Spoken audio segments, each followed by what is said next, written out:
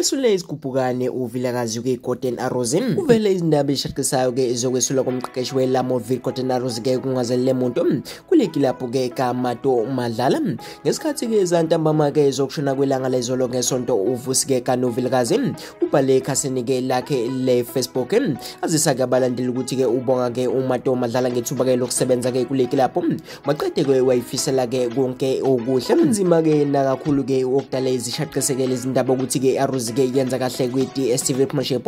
yomakelele endaweni yesibili ke kwilok ye-dstv premiership kanti sandaqumba phansi ke i-swasport united ke ngo-3 nili ngokuthola ke kwelanga umabhuti ke lion kenyeza uyena ke uzoqhubeka nokupheka ke likilabhu benomusa ke pilanku ikilabhu ke sanda kuhlabana ke namaxhasi ke abasha bakwi-tembet